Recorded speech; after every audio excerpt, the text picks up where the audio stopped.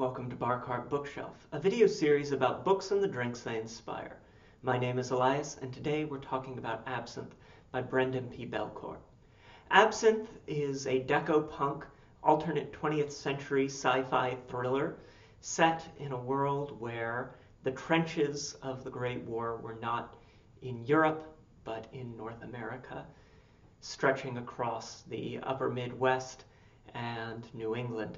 And it's the story of Liam Mulcahy, a man who has forgotten his war record, who finds himself on the cusp of a grand and unveiling conspiracy where he discovers that his involvement in the war was perhaps larger than he thought, and his involvement in the world that could be is larger than he might imagine.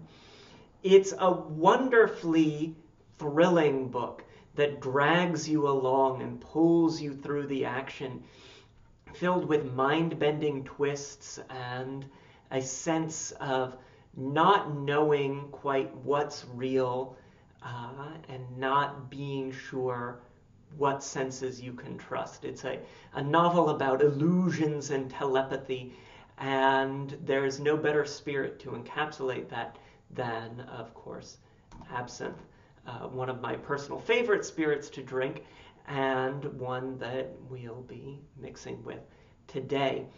Now, real absinthe does not have the uh, psychotropic qualities that it's frequently ascribed to in uh, literature and film, but it is a, a wonderfully um, flavored spirit.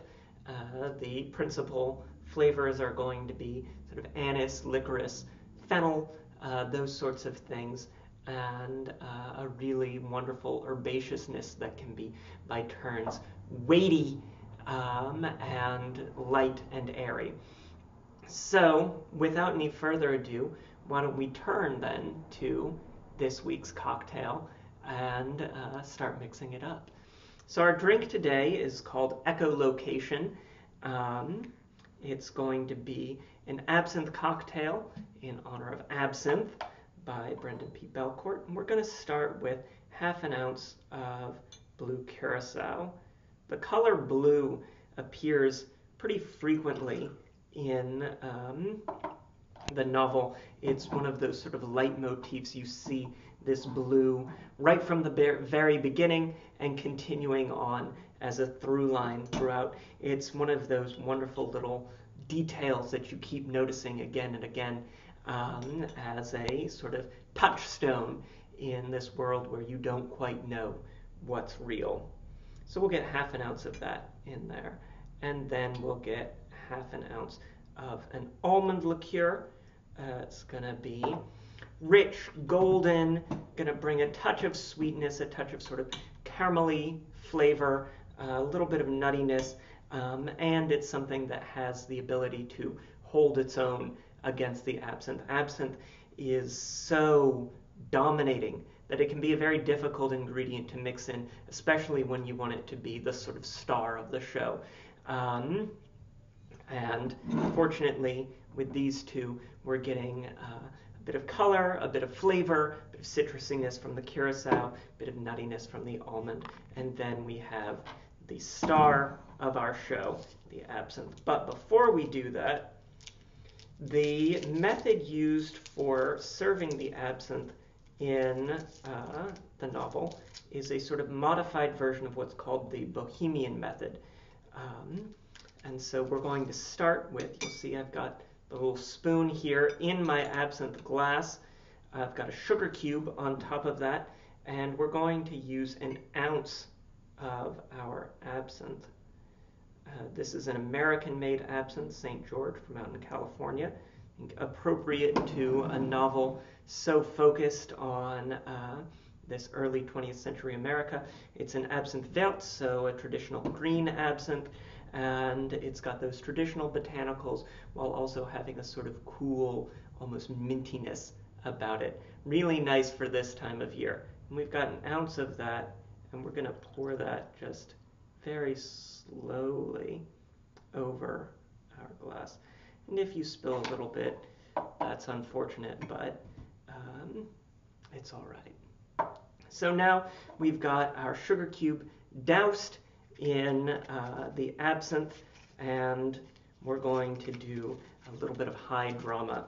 So one of the fun things about absinthe is that it's a nice ritualized uh, spirit. It's something that people build a lot of uh, drinking rituals around, and that's an effect that's used well in the novel to uh, help Liam and other characters move into a different state of mind.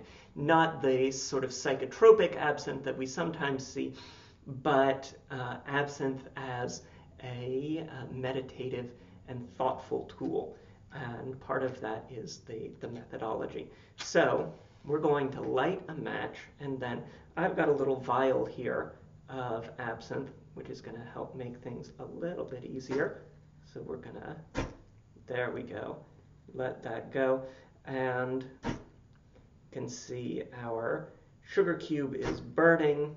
Give it a few more spritzes, especially because we did lose a little bit of our absinthe to begin with. Just let that flame. Good. And so that'll flame a little bit. You'll get some um, of the fiery flavors. It's going to soften. And then for our final step, we're going to take some ice cold water. So you can imagine all of our ingredients are room temperature. We've added a little bit of fire, and now things are a bit warm. We want to cool stuff down. And so we're going to pour that over the sugar cube, which is going to dissolve more of the way. And as you can see, we get what's called a louche effect, one of the hallmarks of absinthe service. We've got this sort of anethole, um, anise oils in the absinthe, and uh, those are going to turn this sort of creamy uh, green-white when you add cold water. And you do want it to be ice cold water because that is the only thing that's sort of cooling down your cocktail and you want it to be uh, nice and refreshing. So there you have it with a bit of fire and a bit of ice. The echolocation, a um, traditional absinthe cocktail with a modern twist um, in honor of Brendan P. Bellecourt's Absynthe.